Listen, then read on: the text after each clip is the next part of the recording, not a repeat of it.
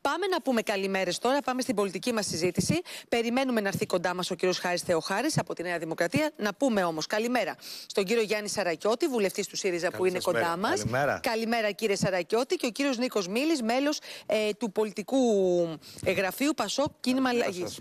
Καλημέρα. Καλή σας ημέρα. Είμαστε τώρα σε, ε, εκλογικό, σε εκλογικές προετοιμασίες, έτσι. Αλλά νομίζω να αρχίσουμε λίγο από τα γεγονότα στην ε, περιοχή. Κύριε Σαρακιώτη, εσείς πώς βλέπετε να, να εξελίσσει την κατάσταση, σας ανησυχεί; Ε, Βεβαίως, σε όλους φαντάζομαι προκαλεί έντονη ανησυχία το γεγονός ότι το Ιράν ε, επιτέχθηκε χθες στο, στο Ισραήλ. Δυστυχώς η κλιμάκωση μετά την ε, επίθεση του Ισραήλ στο Λίβανο φαινόταν ε, αναπόφευκτη και από τις δηλώσεις Ιρανών ε, αξιωματούχων είχε αποφευχθεί όπως είχαμε δει το προηγούμενο χρονικό διάστημα.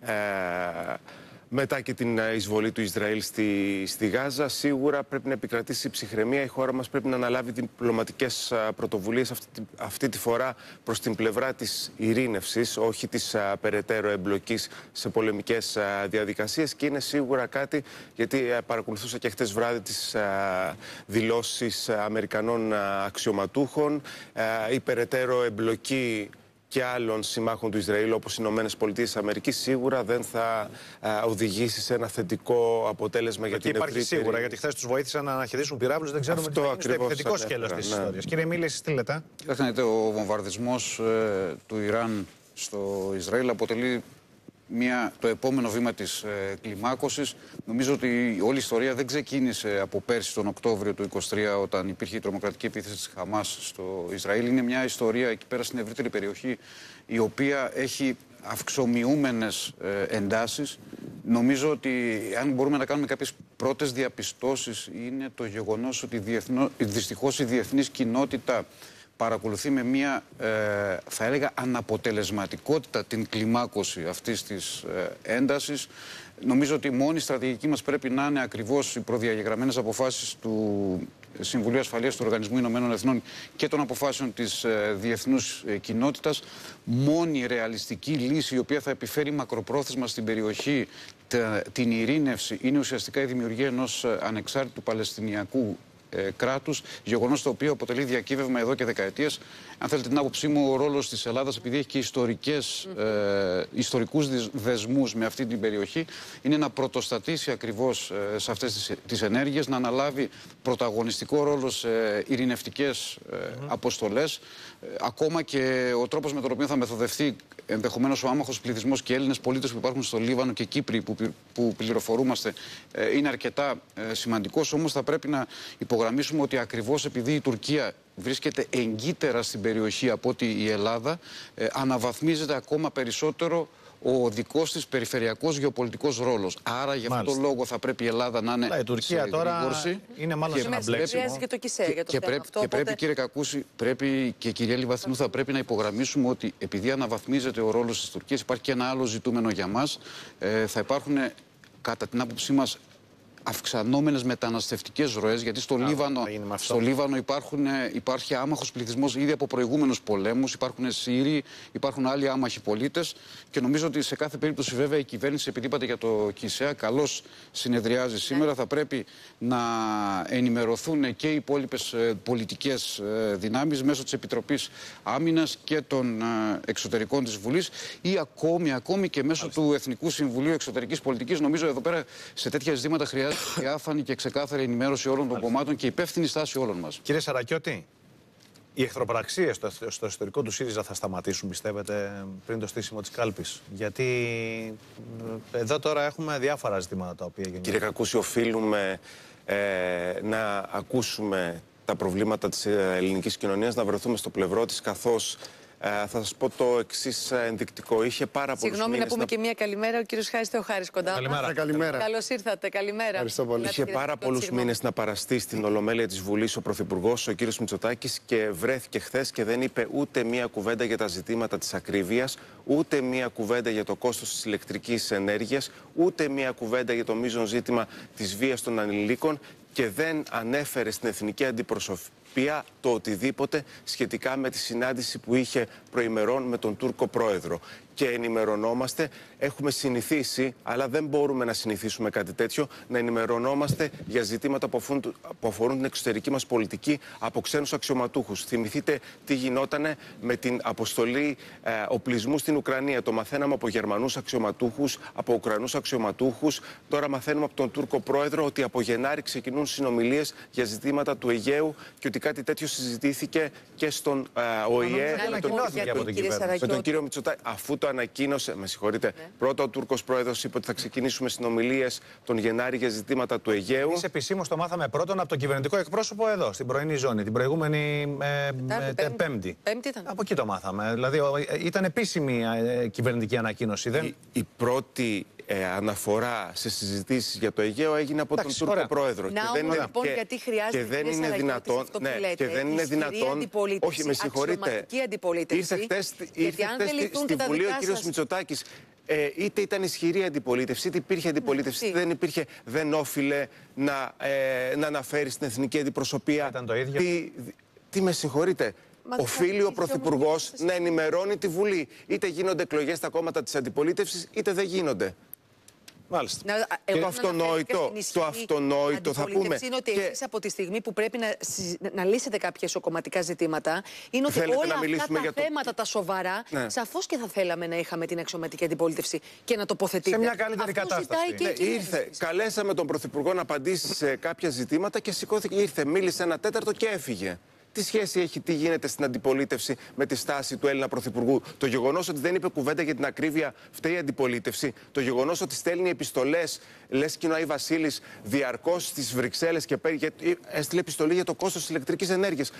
Την απάντηση τη μάθαμε, μας είπε ο Πρωθυπουργός, ότι απάντησαν από την Κομισιόν και λένε ότι ναι. δεν υπάρχει σχέση του πολέμου στην Ουκρανία με το κόστος ηλεκτρικής ενέργειας στην Ελλάδα, αλλά είναι ζήτημα ελληνικό ο πρωταθλητισμός που κάνουμε στο κόστος ηλεκτρικής ενέργειας. Αυτά πρέπει ε, να κληθεί από τον οποιοδήποτε για να έρθει στη Βουλή ο Πρωθυπουργός να τα αναφέρει. Κύριε Θεοχάρη. Νομίζω ότι έχουμε κομμάτι λίγο στη Βουλή. Ο κύριος Τσίπρας δεν ερχόταν ούτε να μιλήσει στα νομοσχέδια. Ε, δεν απαντούσε. Δεν απα... oh, ήταν πριν από πέντε χρόνια. Ήταν ο πρωθυπουργός ο κύριος Σαρακιώτη ε, και, και ο, ο κύριος Μητσοτάκης έρχεται. Μιλάει σε επίκαιρες. Ωραία, να έρθουμε λίγο στο σήμερα όμως. Από πότε, για να μην σταθούμε. Πότε, να μην σταθούμε, να πότε λίγο την τελευταία φορά που ήρθε; Κύριε Σαρακιώτη, δεν θέλω να βάλουμε τη συζήτηση σε, μια, σε μια ροή. Χθες, προχθές μάλλον, στο Υπουργικό Συμβούλιο παρουσιάστηκε μία πρόταση για την αντιμετώπιση του ζητήματος της βίας των ανηλίκων. Το ένα κομμάτι της, η αυστηροποίηση των ποινών προς τους γονείς, είναι κάτι το οποίο μένει στο τραπέζι, θα συζητηθεί και θα θεσμοθετηθεί. Ήρθε και μια πρόταση να πηγαίνουν τα ανήλικα φυλακή από τα 14. Ναι. Το, το, η λύση στο πρόβλημα της ε, παιδικής βίας, γιατί παιδική είναι αυτή τώρα, δεν είναι καν εφηβική, ε, είναι να πηγαίνουν τα ανήλικα από 14 στη φυλακή και οι γονείς τους μέσα; Κοιτάξτε, οι, οι ποινές και ε, το, ε, η αντιμετώπιση της παραβατικότητας εξελίσσεται ανάλογα με το πώς εξελίσσεται το φαινόμενο. Είναι προφανές ότι ε, η, μεταξύ 12 και 18 δεν υπήρχε καμία ε, ποινή ε, και βλέπουμε δυστυχώς ότι τα φαινόμενα όλο και περισσότερο ε, κατεβαίνουν σε μικρότερες ηλικίες. Άρα τι αυτό, σημαίνει, αυτό σημαίνει ότι πρέπει ε, να αντιμετωπιστούν με διαφορετικό τρόπο. Προφανώς δεν είναι μόνο το ποινικό σκέλος ή το σκέλος το κατασταλτικό, είναι προφανώς και το κοινωνιολογικό σκέλος. Έτσι. Τα προγράμματα, ε, όπως για παράδειγμα το πρόγραμμα Stop Bullying ε, το οποίο αγκαλιάστηκε από την κοινωνία και το προσπαθεί να, να δείξει το ζήτημα αυτό και να το αντιμετωπίσει. Ε, άρα ε, και μια σειρά από άλλες δράσεις, η εφαρμογή αυτή που θα, θα ανοίξει σε λίγες μέρες για να προστατευτούν οι ανέλικοι και μια σειρά από άλλες δράσεις λοιπόν πρέπει να είναι μαζί με την αυστηροποίηση ναι. των ποινών. Δεν, Αλλά, δεν λέει κανένας ότι αυτή είναι η λύση ε, και θα το λύσει αυτό. Αν εγώ λοιπόν έχω ένα παιδί το οποίο είναι παραβατικό ναι. και το οποίο δέρνει τους μαθητές του στο, στο σχολείο. Άρα, εγώ σαν γονιός δεν έχω πολύ μεγάλη επιτυχία, είμαι αποτυχημένος. Η λύση για να γίνει καλύτερο το παιδί μου είναι να πάρετε εμένα και τη μάνα του και να μας βάλετε φυλακή. Κοιτάξτε. Η παραμέληση ελληνικού δεν είναι. Και το παιδί, να μην τα αφήσουμε έξω το παιδί. Δεν είναι, δεν είναι απλό φαινόμενο. Έτσι. Άρα, ε, προφανώς πρέπει να υπάρχει υπάρχει η αυστηροποίηση, αλλά ε, κυρίως πρέπει να υπάρχει και η στήριξη από τις κοινωνικές υπηρεσίες του Δήμου. Δεν ακούω τίποτα. θέμα της πρόληψης. Ένας ψυχολόγος για πέντε σχολεία. Εκεί, σωστά, αυτό μας λένε. Δεν είναι το θέμα να φτάσουμε σε αυτές τις εικόνες, σε αυτά τα περιστατικά που συμβαίνουν εντός ή εκτός μιας σχολικής μονάδας. Ναι, το αν θέμα φτάσουμε είναι όμως, πρέπει να το αντιμετωπίσουμε. να μην φτάσουμε εκεί. Προφανώς. Σε αυτό σχεδιάζεται κάτι. Δηλαδή, ακόμα και αυτές οι υπηρεσίες που λέτε, που είναι πολύ σημαντικές, να βοηθήσουν και γονείς που δεν μπορούν να διαχειριστούν τα παιδιά τους, τα οποία μπορεί να έχουν μια παραβατική συμπεριφορά. Θα τα δούμε όλα αυτά να γίνονται. Δηλαδή, Οπωσδήποτε, το Υπουργείο θα Παιδείας σίγουρα- θα βοηθηθούν αυτές οι οικογένειες. Ε, το Υπουργείο Παιδείας σίγουρα ε, σχεδιάζει δράσεις. Έχει τους ε, ψυχολόγους. σω να μην είναι αρκετοί, να το δεχτώ. Κυβερνάτε Ε, πέντε χρόνια. Πόσα χρόνια πρέπει να τις σχεδιάσετε αυτές τις δράσεις, 20, 30, 40, πείτε μας. Κύριε Σαρακιώτη. Θέλετε 50 χρόνια να τις σχεδιάσετε. Να Κύριε ξέρουμε ότι Σαρακιώτη, να σας θα ασκήσουμε κριτική σε 50 κυβερνάμε όσα χρόνια. χρόνια μας εμπιστεύεται ο ελληνικός λαός. Όσα χρόνια ο ελληνικός λαός μας εμπιστεύεται, θα κυβερνάμε και προφανώς Και θα σχεδιάζετε δράσεις. Δεν θα σχεδιάζουμε, σχεδιάζουμε και σε κανένα υλοποιούμε εικοσαετία. δράσεις. Το panic button δεν υπήρχε, εμφανίστηκε για την ε, ε, εγκληματικότητα απέναντι στις γυναίκες και ούτω καθεξής. Ε, λοιπόν, οι, οι δράσεις υλοποιούνται. Ε, τα φαινόμενα αυτά δεν είναι μόνο ελληνικά. Μην, ε, Πάλι στο εξωτερικό, κύριε Θεοχάρη. Έχουμε ακρίβεια η Ουκρανία. Έχουμε φωτιές στην Αμερική. Αυτή είναι η Έχουμε πραγματικότητα, βία κύριε στο Σαρακιώτη. εξωτερικό. Αυτή είναι η Για πραγματικότητα. την Ελλάδα, Δεν σε σας Έλληνες αρέσει. απευθύνεστε. Δεν σας αρέσει Στην η ελληνική πραγματικότητα. κοινωνία απευθύνεστε. Δεν Θα σα άρεσε πείτε κάτι ποτέ. για την ελληνική Δεν σας άρεσε κοινωνία. ποτέ η πραγματικότητα. Μας λέτε Αυτή για την είναι η Ισπανία, για την πραγματικότητα. Πορτογαλία, για Και την Ουκρανία, και για την Αμερική, το Ισραήλ. Και Για την Ελλάδα ακρίβεια έχετε η να πείτε κυβέρνηση κάτι. έχει- Έχετε να πείτε έχει κάτι. χαμηλότερο πληθωρισμό από το μέσο όρο των ε, ευρωπαϊκό. το βλέπουν. Όλα Είτε- αυτά τα οι χρόνια. τηλεθεατές αν που πηγαίνουν στο μας σούπερ ακούν, μάρκετ, το όλο αυτό το βλέπουν. Διάστημα Το που ξεκίνησε το βλέπουν. φαινόμενο. Πηγαίνουν από Ε, σούπερ Το μάρκετ. βλέπουμε, κύριε Εάν Σαρακούρη. Τι θέλετε να να κάνουμε; επικεντρωθείτε λίγο Αυτή στο είναι η θέμα της, πραγματικότητα. ε, της, πα- της ε, βίας στους, στους ανήλικους, να καταλάβουμε και εμείς ποιες είναι οι θέσεις σας. Άρα, κύριε Θεοχάρη, αν καταλαβαίνω καλά, και εσείς δεν το βλέπετε λύση το ζήτημα της αυστηροποίησης των ποινών από μόνο του; Α, έτσι ακριβώς. Γιατί εγώ δεν Είναι- βλέπω κάτι άλλο να γίνεται πάντως. Σύνθετα προβλήματα, σύνθετα προβλήματα πρέπει να έχουν σύνθετες απαντήσεις και προφανώς. Ο κύριος Πιερακάκη βγήκε και μας είπε ότι έχουν πέσει 813 αποβολές για κινητά. Και, Και αυτό είναι σημαντικό. Σε 13 και, μέρες. και τι έγινε δηλαδή; Λύση υπάρχει στα Εννοείται. προβλήματα. Υπάρχει το κινητό, έχει μει- μπει- μείνει στις τσάντε. Τι εννοεί τη λύση; Η Α, λύση- α, α, οι λύση- αποβολές που γίνονται είναι για να ε, ε, ξεκινήσει ένα μέτρο το οποίο ε, ε, νομίζω ότι όλη η κοινωνία το θέλει, διότι ξέρουμε ότι τα παιδιά δεν επικεντρώνονται στο, στο μάθημά τους όταν το κινητό είναι ε, έξω από την τσάντα. Ξέρουμε ότι είναι πολύ πιο δύσκολο να υπάρχει έλεγχος και ε, η τάξη ας πούμε να είναι ε, συγκεντρωμένη και ούτω καθεξής. Άρα ένα μέτρο το οποίο ανακοινώθηκε, υλοποιείται και θα συνεχίσει η κυβέρνηση να το υλοποιήσει μέχρι Κύριε Μίλη, τι ε, λέτε; να εσείς; μην χρειάζονται αυτές οι αποβολές. Μάλιστα. Τι λέτε; Πρόκειται, πρόκειται σίγουρα για ένα σύνθετο κοινωνικό φαινόμενο. Καλό είναι βέβαια α, να μην γενικεύουμε. Εγώ θα σας πω μόνο ένα παράδειγμα. Το θέμα δεν είναι το πώς θα εστιάσουμε στην προσωπική ατομική ευθύνη. Γιατί δυστυχώς για ένα ακόμα ζήτημα ε, η Νέα Δημοκρατία εστιάζει στην ε, προσω- προσωπική ατομική ευθύνη. Εγώ θα πω ένα δεδομένο. το δω, κύριο Μίλη. υπάρχει, υπάρχει η κατάργηση των σχολικών επιτροπών. Το οποίο έχει γίνει με νόμο του Υπουργείου Εσωτερικών ήδη από το καλοκαίρι του 23. Να το πω τον Αυτό κύριο Μίλη. δεν είναι ένα δείγμα. Αυτό δεν είναι ένα δείγμα του γεγονότος ότι η κυβέρνηση προσωποποιεί τις ευθύνες των γονιών, της- των οικογενειών, οποιοδήποτε άλλων. Η κατάργηση των σχολικών επιτροπών έχει γίνει, κύριε Θεοχάρη, δεν έχει γίνει με νόμο του Υπουργείου Εσωτερικών. Και από 29 Ιουνίου του 2024 δεν ισχύουν πλέον οι σχολικές επιτροπές. Δεν έχει γίνει κανένα σχέδιο για τη μεταβίβαση αυτών των αρμοδιοτήτων Κάπου αλλού από τις λέτε, σχολικές επιτροπές προς τους Δήμους. Υπάρχουν κάποιες πρωτόλιες διαβουλεύσεις οι οποίες είναι και πολύ στοιχειώδεις και το ζήτημα είναι ότι δεν υπάρχει και ένα συγκεκριμένο πλαίσιο χρηματοδότησης των σχολείων μετά την κατάργηση ακριβώς των σχολικών επιτροπών. Και ερχόμαστε και λέμε εδώ πέρα, καταργούμε τα στοιχειώδη, καταργούμε το, τα σοβαρά, δεν εξασφαλίζουμε τη μετάβαση σε μια νέα κανονικότητα και λέμε στον κάθε γονιό και στο κάθε παιδί ότι θα πρέπει να φυλακίζεσαι πιο νωρίς ή θα πρέπει να, Πάντως, κύριε να Μίλη, τιμωρείσαι. Πάμε, τι πάμε και Το κάνουμε. συγκεκριμένο Πα- θέμα πάμε, είναι ένα θέμα να που σας πω όλα τα κάτι. κόμματα θα μπορούσαν να καθίσουν σε ένα Πάμε τραπέζι και, και να βρουν κάποιες προσωποποιούμε. θετικές Είναι, λύσεις. η- το πλαίσιο, να σας πω κάτι κύριε Λεβαθινού. Το πλαίσιο αυστηροποίησης των ποινών θα ήταν θεμητό και δεκτό όταν η πολιτεία θα είχε εξαντλήσει όλα τις τα μέσα ακριβώς για να περιφρουρήσει κοινωνικά αυτό το φαινόμενο. Κύριε Ξέρετε, Σαρακιώτη, η μου λέτε. ατομική ευθύνη Ναι. είναι η μεγαλύτερη, το μεγαλύτερο σύνθημα αυτής της κυβέρνησης. Πραγματικά συγκεντρώνει όλη την εξουσία πάνω της, αποκεντρώνει την ευθύνη. Αυτό το πράγμα γίνεται σε όλους τους τομείς, επιτρέψτε μου, και δυστυχώς στον κόσμο, στους Έλληνες πολίτες, επειδή ακριβώς δεν υπάρχει μια σοβαρή, αξιόπιστη, εναλλακτική πρόταση αυτή τη στιγμή, πάει με τη λογική του μη χείρων βέλτιστων. Αυτό το πράγμα πρέπει να αλλάξει. Όλοι γνωρίζουμε τι συμβαίνει με τα περιστατικά βίας μεταξύ ανηλίκων στη χώρα μας. Πάμε να δούμε τι γίνεται εκτός ελληνικών συνόρων. Θα, θα επιστρέψουμε, είμαστε εδώ. εδώ. Θα νομίζω θα πάρετε περισσότερη τροφή τώρα για να απαντήσετε. Θα ταξιδέψουμε μέχρι την Νορβηγία και μέχρι την ε, Γερμανία. Να πούμε καλημέρες. Η κυρία Αλεξάνδρα Καρά, κάτοικος Όσλο από Νορβηγία, είναι κοντά μας. Καλημέρα μας. Καλημέρα. Ευχαριστώ πολύ για την πρόσκληση. Εμείς, χαρά μας που είστε μαζί μας. Και η κυρία Σοφία Σφελινιώτη είναι πρόεδρος Ομοσπονδίας Συλλόγων Γονέων και Κηδεμόνων κρατηδίου Έσης Γερμανίας. Πάμε να δούμε τι συμβαίνει εκεί. Καλημέρα δηλαδή, σα. Ευχαριστώ και εγώ πολύ για την πρόσκληση. Καταρχήν, κρούσματα υπάρχουν εκεί, δηλαδή κρούσματα βίας ανηλίκων υπάρχουν; Κυρία Καρά, να ξεκινήσουμε από εσάς. Τι γίνεται στην Νορβηγία, για δώστε μας την εικόνα.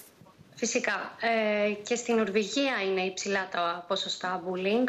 Ε, δεν είναι βέβαια όσο στην Ελλάδα, εννοείται, αλλά από, από τα lockdown και όλα αυτά που ζούμε τα τελευταία χρόνια και τα social media που έχουν μπει πολύ στη ζωή των παιδιών, έχουν ανέβει τα ποσοστά εκφοβισμού και στους ανήλικες και στους ενήλικες. Ωραία. Και πώς το αντιμετωπίζει η Νορβηγία αυτό το ζήτημα, δηλαδή τι μέτρα έχει πάρει; Καταρχήν πείτε μας κάτι, ψυχολόγους στα σχολεία έχετε εσείς; Ναι, φυσικά. Σε κάθε σχολείο μια ομάδα ψυχολόγων; Δώστε μας μια εικόνα. Ε, υπάρχει γιατρός και ψυχολόγος στο σχολείο. Σε κάθε σχολείο; Σε κάθε σχολείο. Σε κάθε σχολείο. Από ένας; Ναι. Κάθε μέρα; Κάθε μέρα. Μάλιστα. Ωραία. Ε, ένα μέτρο είναι αυτό. Τι άλλα μέτρα υπάρχουν; Γενικά στην Νορβηγία προτιμάνε να είναι κοντά στην κατάσταση για να λυθεί και να αντιμετωπιστεί και το πρόβλημα και όχι να τιμωρήσουν γενικά στοχεύουν στην πρόληψη και στην εκπαίδευση. Δηλαδή από πολύ μικρά εκπαιδεύουν τα παιδιά να αποδέχονται τη διαφορετικότητα και την ισότητα και εκπαιδεύουν επίσης τους εκπαιδευτικούς και τους γονείς. Άρα υπάρχει, δωρεά, υπάρχει δωρεάν στήριξη. Υπάρχουν και κάποιες αρμόδιες υπηρεσίες ε, οι οποίες μπορεί να αποτανθεί μια οικογένεια που δεν μπορεί να διαχειριστεί μια προβληματική κατάσταση μέσα στο σπίτι της ή ένα παιδί που μπορεί να περνάει δύσκολα, από, ναι, δηλαδή να είναι θύμα bullying; Ναι, φυσικά είναι οι κοινωνικές υπηρεσίες. Είναι η πρόνοια της της Νορβηγίας. Δηλαδή, δεν είναι ότι ε, θα καλέσει το σχολείο την πρόνοια επειδή βλέπει ότι υπάρχει κάποιο πρόβλημα στο σπίτι. Φυσικά θα το κάνει.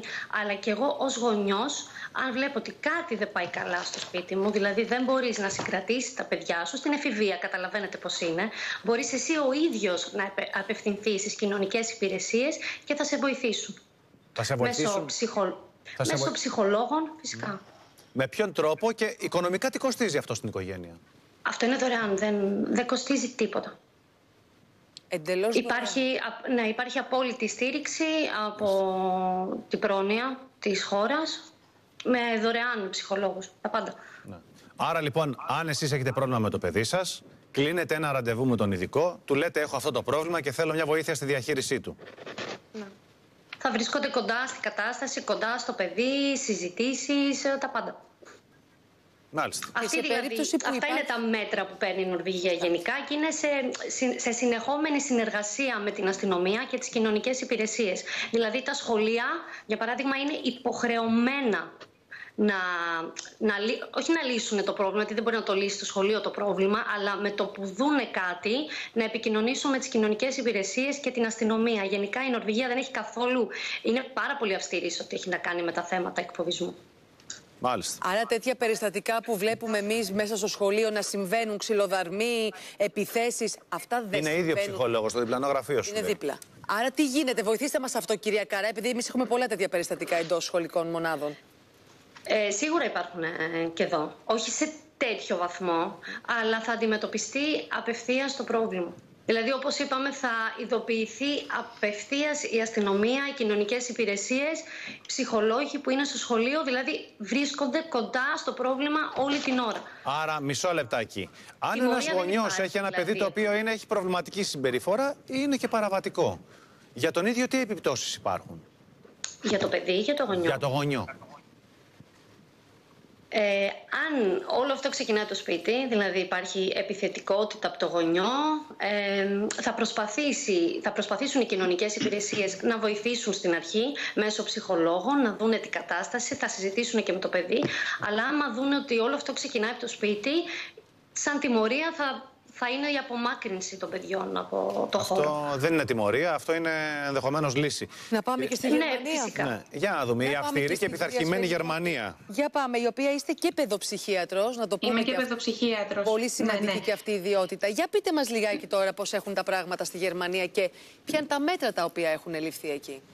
Ναι, ε, είμαι παιδοψυχίατρος και είμαι ε, πρόεδρος του Συλλόγου Γονών και Κηδεμόνων του Ελληνικού Σχολείου του Αμυγούς Φραγκφούρτης και της Ομοσπονδίας Συλλόγων Γονών και Κηδεμόνων των Ελληνικών Σχολείων της Ναι, ναι, θέσης. μα εννοείται. Ε, ναι, λοιπόν, ε, να διευκρινίσω ότι δεν είμαι ούτε πολιτικός, ούτε νομικός, ούτε εκπαιδευτικός, έτσι και το όλο θέμα θα το προσεγγίσω ε, ως, ε, γε- ως γιατρός παιδοψυχίατρος.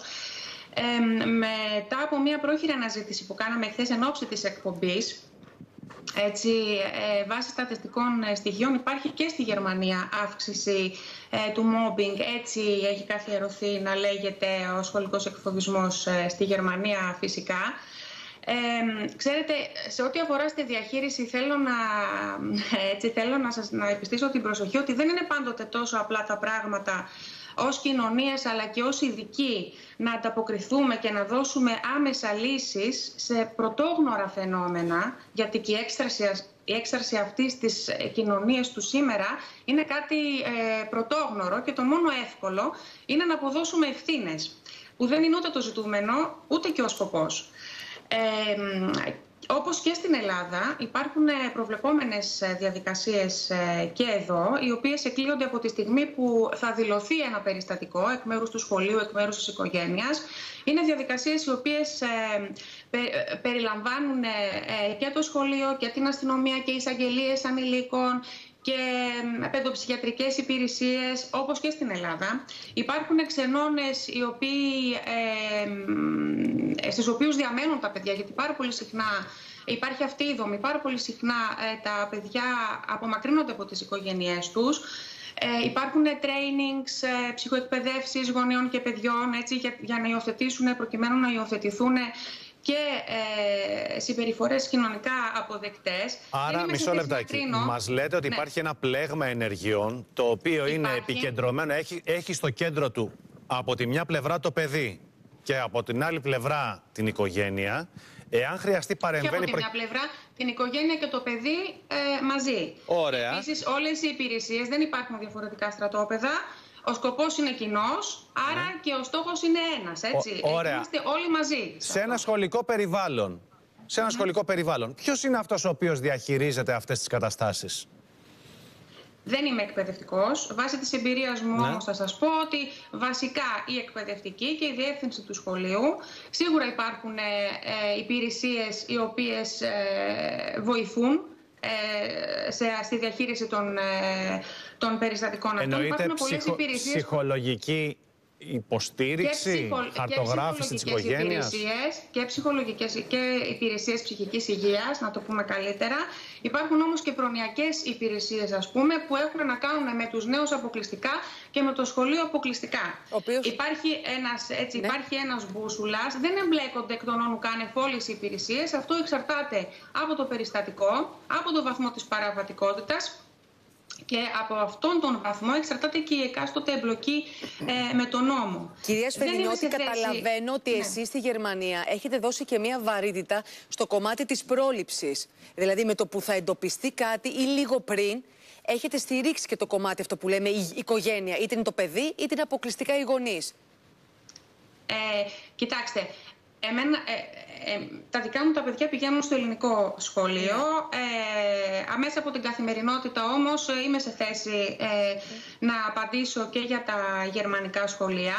Ε, υπάρχει η πρόληψη ε, και στην Ελλάδα υπάρχει η πρόληψη. Δεν είμαι σε θέση να, κλει- να κρίνω, να σας πω την αλήθεια, τι είναι σωστό και τι είναι λάθος. Μπορώ όμως με σιγουριά να σας πω ότι είναι διαφορετική η προσέγγιση, γιατί οι κοινωνίες είναι διαφορετικές. Όλη η δομή της κοινωνίας και όλο το σύστημα είναι διαφορετικό. Οπότε και οι εκφάνσεις των φαινομένων αυτών είναι διαφορετικές, αλλά και η διαχείρισή τους. Σε ένα τέτοιο περιστατικό, συγγνώμη, κύριε Η βάση όμως, να ολοκληρώσω, ναι. η ναι. βάση όμως παραμένει κοινή και ο στόχος είναι η προστασία των ανηλίκων. Είτε είναι θήτη, είτε είναι θύμα. Σωστά. Σε ένα τέτοιο περιστατικό που μπορεί να συμβεί σε ένα σχολείο στη Γερμανία. Δηλαδή, ένας ανήλικος να χτυπήσει κάποιο κάποιον άλλον. Αμέσως μετά, ποια είναι η διαδικασία που ακολουθείτε, θέλετε να μας βοηθήσετε; Νομικώς, ε, εξακολουθώ να σας ε, να λέω ότι δεν είμαι και ναι, εμείς ναι, ναι. ω παιδοψυχίατροι είμαστε οι αποδέκτες τελικά αυτής έτσι, ε, ενός σημείου της διαδικασίας mm αυτής. Ε, σίγουρα όμως το περιστατικό δηλώνεται. Ανάλογα με τον βαθμό της παραβατικότητας ή όχι υπάρχει και η εμπλοκή των υπολείπων υπηρεσιών. Ε, συνήθως τα παιδιά αξιολογούνται από παιδοψυχιατρικές υπηρεσίες. Αυτό θεωρώ ότι συμβαίνει και στην Ελλάδα. Ε, ε, επίσης, ε, ε, όπως είπα και πριν, πάρα πολύ συχνά μπορεί να απομακρυνθούν τα παιδιά από τα οικογενειακά τους περιβάλλοντα. Πάρα πολύ συχνά αποβάλλονται από το σχολείο και γίνεται πάρα πολύ δύσκολα αποδεκτά από ένα νέο, εάν δεν υπάρξει κατάλληλη παρέμβαση, εάν δεν πιστοποιηθεί ότι η παρέμβαση αυτή είναι αποτελεσματική και αν δεν πιστοποιηθεί και η συνεργασία του παιδιού, είναι μια διαδικασία, ξέρετε, που πολλές φορές μπορεί να αδικεί, μπορεί να αδικεί κάποιους, αλλά από την άλλη προσδίδει ένα αίσθημα ασφάλειας και οριοθετεί. Θέλετε να ρωτήσετε κάτι τις ε, δύο καλεσμένες μας έτσι για να κάνουμε τις, ε, τις συγκρίσεις; Θέλει κάποιος από εσάς να ρωτήσει κάτι; Όποιος θέλει. Ε, όχι, λοιπόν. Θα μπορούσα ε... να προσθέσω και κάτι ακόμη. Ελάτε, ναι. Ε, ναι, σε σχέση, συμφωνώ ότι η πρώτη. Ξέρετε, εγώ έχω, μείνει λίγο, εγώ έχω μείνει λίγο παγωτό γιατί σας ακούω και τις δύο τώρα που να περιγράφετε ένα πλέγμα ενεργειών χτισμένο γύρω από το πρόβλημα. Να μπορεί και να προστατεύσει και να παρέμβει και να τιμωρήσει όποτε θα χρειαστεί. Εμείς εδώ πετάμε ένα αυστηροποίηση των ποινών και καθαρίσαμε. Ναι. Ε, να, θα ήθελα να διευκρινίσω και σε αυτό κάτι για να τοποθετηθώ. Δεν θεωρώ ότι ε, στην Ελλάδα είναι τόσο άσχημα τα πράγματα σε σχέση με την πρόληψη και τη διαχείριση. Ε, έτυχε να δουλέψω στην Ελλάδα, ζω τα τελευταία χρόνια στη Γερμανία και θα ήθελα να πω ότι μπορεί ε, πια ε, να εμπλέκει όλο το σύστημα η διαχείριση του φαινομένου αυτού, αλλά και εγώ πιστεύω και θεωρώ ότι η ατομική ευθύνη είναι το α και το ω. Γιατί η ευθύνη της οικογένειας είναι η πρώτη. Η ευθύνη της... Όχι μόνο η οικογένεια και η κοινωνία και ως θεραπευτές και ως εκπαιδευτικοί οφείλουμε να διδάξουμε στα παιδιά μας πώς να απαντούν στη βία χωρίς βία για να σπάσει ο φαύλος κύκλος αυτός. Αλλά πριν από αυτό οφείλουμε να εκπαιδευτούμε εμείς οι ίδιοι σε αυτόν τον τρόπο σκέψης. Σωστό. Κύριε Σφελινιώτη, να σας ευχαριστήσουμε πάρα πολύ. Κυρία Καρά και εσάς από είναι, είναι, είναι, λίγο, είναι λίγο απογοήτευση. Είναι λίγο απογοήτευση όλο αυτό. Θα απαντήσω γιατί ε, δεν έχω τοποθετηθεί για το ναι, θέμα. Ναι, ναι, ναι. ναι. Ε, ελάτε κύριε Σαρακιώτη. Ε, αν θέλουμε να μιλήσουμε για ανάσχεση του, του φαινομένου και για καλλιέργεια κουλτούρας πρόληψης, πρέπει να απευθυνθούμε στους ειδικούς. Ποιοι είναι οι ειδικοί, κοινωνική λειτουργοί, ψυχολόγοι. Ε, στις 14 ε, Δευτέρου συνεδρίασε, ε, συνεδρίασε υπό τον Πρωθυπουργό μια επιτροπή ε, συστάθηκε νομίζω την ίδια μέρα για την αντιμετώπιση της ε, της βίας των, των ανηλίκων. Δεν μπορώ να πιστέψω. Περιμένουμε να δούμε το πόρισμα, αν υπάρχει πόρισμα μετά από τόσο χρονικό διάστημα. Δεν μπορώ να πιστέψω ότι ε, όλοι οι επιστήμονες αποφάσισαν ότι το πρόβλημα θα λυθεί με την αύξηση των ποινών. Είναι αδιανόητο. Και να έρθουμε λίγο στο θέμα των κοινωνικών λειτουργών. Ανακοίνωση του Συλλόγου των ε, και να κλείσουμε με αυτό, ναι. 27 Σεπτεμβρίου του τρέχοντος έτους. Τι αναφέρει, εκφράζουμε την έντονη ανησυχία μας για τον περιορισμένο αριθμό προσλήψεων σε σχέση με τα προηγούμενα σχολικά έτη. Δηλαδή, έχουμε έξαρση του φαινομένου και τι κάνει η κυβέρνηση, δεν προσλαμβάνει τους επιστήμονες οι οποίοι θα εργαστούν στα ΚΕΔΑΣΥ μόνος στις προσλήψεις, κύριε Σαρακώτη.